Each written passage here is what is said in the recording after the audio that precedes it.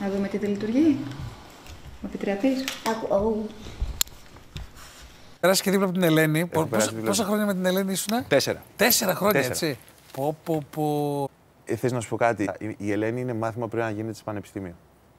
Τι; Αλλάξατε μάθημα τώρα; Θεωρώ ότι είναι μια τέτοια γυναίκα. Δηλαδή η Γιατί το Ελένη. λες αυτό; Γιατί πέρα ότι είναι πάρα πολύ έξυπνη, Όλα καλά. Κάτω έχει. Τώρα. Μαθηματικά. δημιουργική, ε, είναι αυτή που θα πάρει το τσιμπιδάκι και δεν ξέρεις τι θα φτιάξει και θα φτιάξει κάτι με αυτό. Μαγκάιβερ. Είναι πραγματικά μαγκάιδα.